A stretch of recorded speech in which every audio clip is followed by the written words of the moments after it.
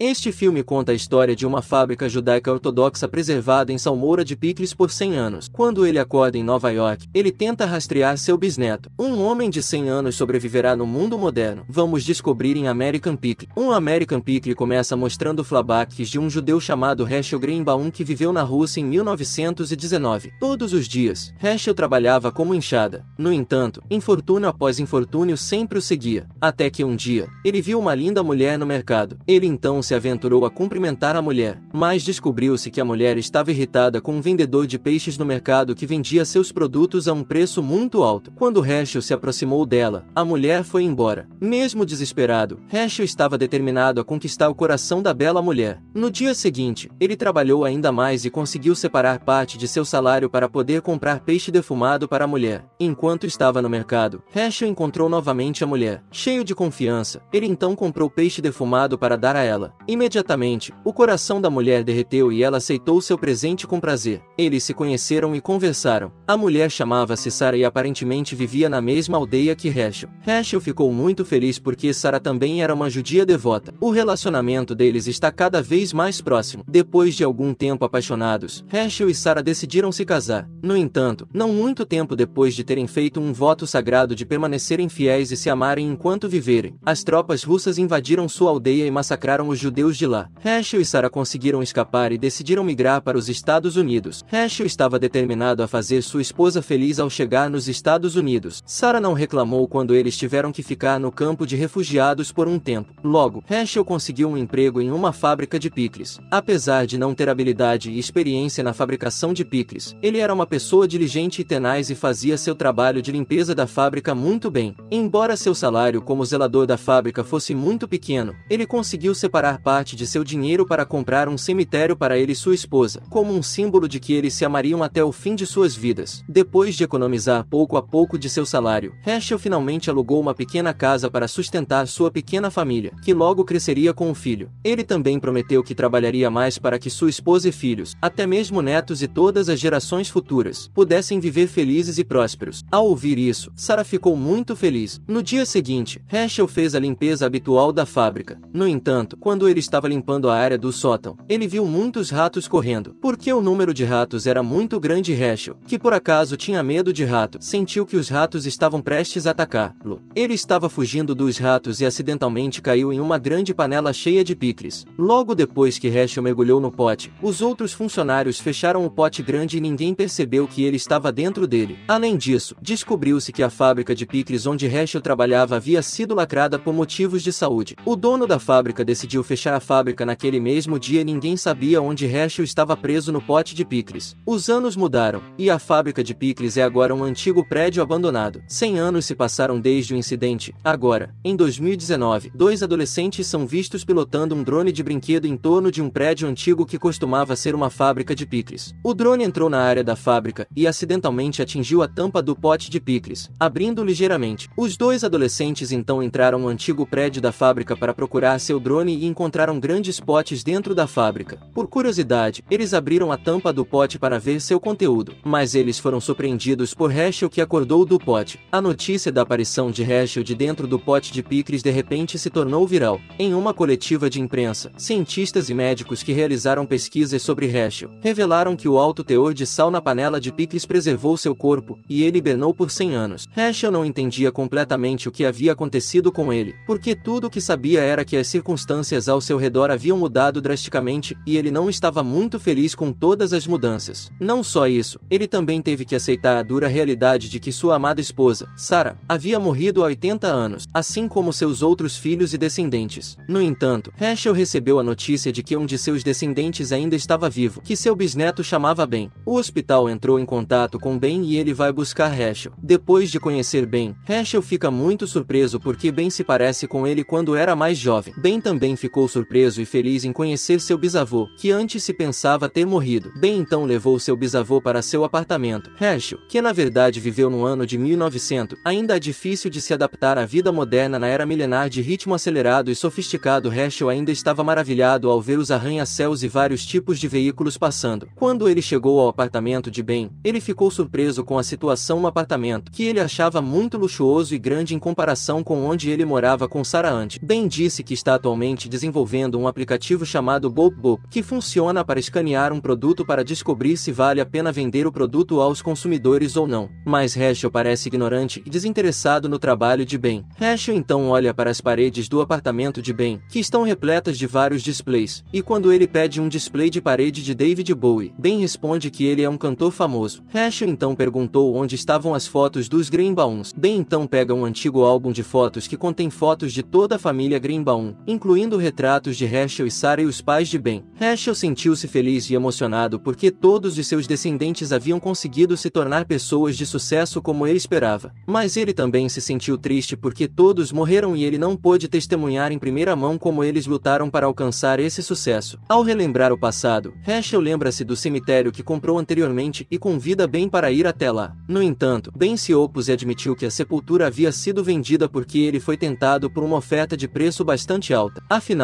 a localização do terreno era bastante estratégica. Embora Ben tivesse explicado, Heschel ainda insistia em visitar o cemitério. No final, Ben não pôde deixar de convidar seu bisavô para ir até lá. Embora o ambiente ao redor do cemitério tenha mudado muito, Heschel ainda se lembra da localização exata do cemitério que comprou anteriormente e encontra os túmulos de sua esposa e filhos que estão fora da área do cemitério público e parecem muito negligenciados. Heschel então convidou Ben para orar pelos espíritos de suas famílias que haviam falecido, mas Ben não pareceu se importar e, em vez disso, verificou seu celular quando Heschel fez uma oração. Enquanto Heschel estava orando, um grupo de trabalhadores da construção veio ao local do enterro e pediu-lhes que deixassem o local imediatamente porque estariam fazendo trabalhos de construção lá. Os trabalhadores então colocaram cartazes anunciando a vodka russa em outdoors com vista para os cemitérios de sua esposa e filho. Herschel, revoltado, bate nos trabalhadores da construção civil e Ben, que tenta intervir, se envolve, até que ambos são jogados na prisão. Ben paga o resgate para que ambos possam sair da prisão, mas ele então culpou Herschel por levar-lo à prisão e agora ele não pode mais conseguir investidores porque tem antecedentes criminais. Ben está irritado porque a imagem de seu aplicativo foi manchada e agora corre o risco de falir. Todos os seus esforços para desenvolver o aplicativo foram em vão. Herschel então sugeriu que Ben abrisse outro negócio e pediu-lhe para iniciar em conjunto um negócio de venda de produtos em conserva. Ben recusou categoricamente o convite, o que irritou Herschel porque Ben subestimou o negócio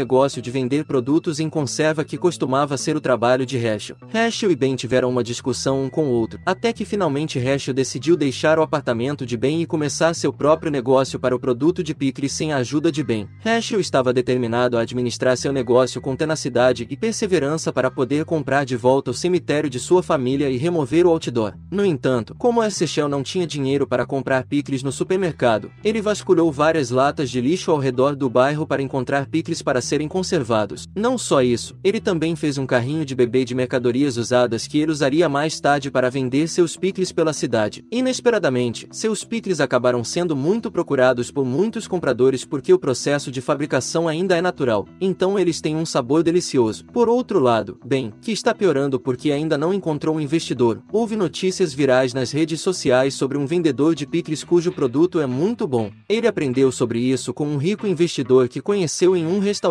De fato, o produto de picles é tão famoso que o investidor planeja investir seu dinheiro no vendedor do produto em picles, ninguém menos que Heschel. Bem, irritado e rivalizado porque o negócio de picles de Heschel está crescendo agora, tenta derrubar o negócio de seu bisavô de várias maneiras. Bem acidentalmente descobre que Heschel faz esses produtos em conserva com ingredientes que ele pega no lixo. Ele então entrou em contato com a agência reguladora de alimentos e medicamentos e relatou o assunto. No dia seguinte, vários oficiais selaram e confiscaram todos os produtos em conserva de Heschel, e até lhe impuseram uma multa porque os picles processados não atendiam aos padrões de saúde. Heschel ficou desesperado porque seu negócio agora está ameaçado de falência. Mas então alguém sugeriu que ele usasse sua popularidade nas mídias sociais para atrair estagiários para trabalhar e ajudá-lo a desenvolver seu negócio de picles. Descobriu-se que muitos estagiários estavam dispostos a trabalhar para Heschel voluntariamente para ganhar experiência. Até os estagiários ajudaram a financiar o negócio, então ele não vasculhou mais os restos de materiais no lixo. Heschel então ensinou os estagiários a classificar e processar ingredientes para picles frescos para o processo de decapagem natural. Por atender aos padrões de saúde, os produtos em conserva da Heschel estão vendendo cada vez mais bem. Com técnicas de marketing usadas por estagiários, ele conseguiu vender centenas de picles todos os dias e arrecadou dinheiro para comprar de volta o cemitério de sua família. Depois de retornar legalmente ao cemitério de sua família, ele derrubou o outdoor e limpou o cemitério. Heschel então retorna retorna ao apartamento de Ben e prova que ele conseguiu comprar de volta o cemitério da família Greenbaum com seus esforços e trabalho duro vendendo picles. Ben de repente se sentiu envergonhado, mas isso não diminuiu sua intenção de subverter os negócios de Heschel. Ben então se lembrou que seu bisavô era um judeu muito fanático. Ele então sugeriu a Heschel que baixasse o aplicativo do Twitter porque agora ele era uma figura famosa. Heschel então começou a twittar declarações controversas que ofendem a religião porque ele é um judeu fanático que odeia os cristãos. Apesar dos protestos iniciais e boicotes de muitos cristãos, Heschel mais tarde foi visto como um ícone da liberdade de expressão e uma fonte de inspiração para muitos e o tornou ainda mais famoso. Um dia, Heschel foi convidado como palestrante em um fórum de debate amigável. Bem, disfarçado, participa do fórum e questiona os pensamentos de Heschel sobre o cristianismo. No entanto, Heschel novamente expressou seu ódio pelos cristãos, o que provocou raiva e ódio do público. Ele foi cada vez mais criticado e procurado pela polícia por causar inquietação na comunidade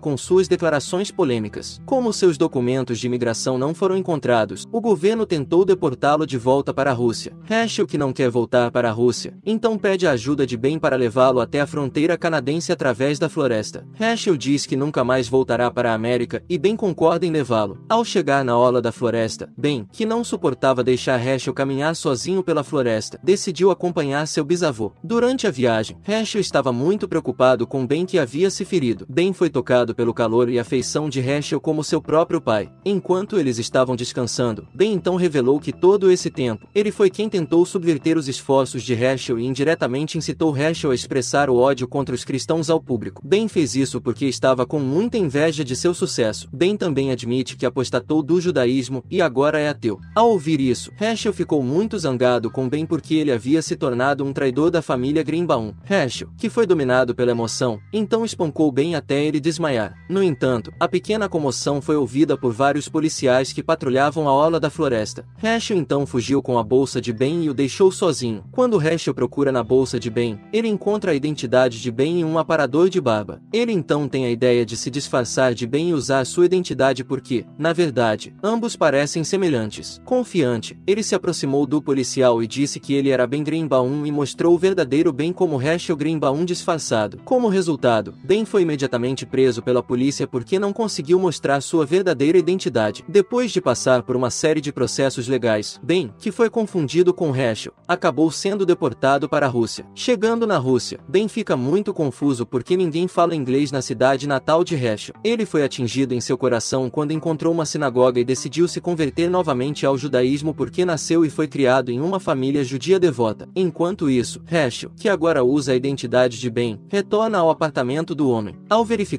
os pertences de Ben, ele se depara com um rabisco que Ben desenhou quando criança. Acontece que o nome do aplicativo Bop que está sendo desenvolvido por Ben vem do apelido favorito de Ben para seus pais. Heschel também encontrou fotos de Ben quando criança que era muito próximo de seus pais. Heschel também percebeu que Ben sempre amou e se lembrou de sua família em seu coração todo esse tempo. Heschel decide voltar para sua cidade natal para encontrar Ben. Ele finalmente conheceu Ben, que se arrependeu e voltou ao judaísmo e seguiu seus ensinamentos obedientemente. Heschel então pede a Ben que respeite a religião e toda a sua família. Ben então pede desculpas por vender o cemitério da família apenas para obter lucro. Heschel e Ben se reconciliaram e decidiram começar tudo de novo trabalhando juntos. Alguns meses depois, Heschel e Ben voltaram para a América depois que Heschel atualizou sua identidade para que ele não fosse mais banido pelo Departamento de Imigração. O filme termina mostrando Ben e Heschel que estão em peregrinação ao túmulo da família e rezam juntos solenemente.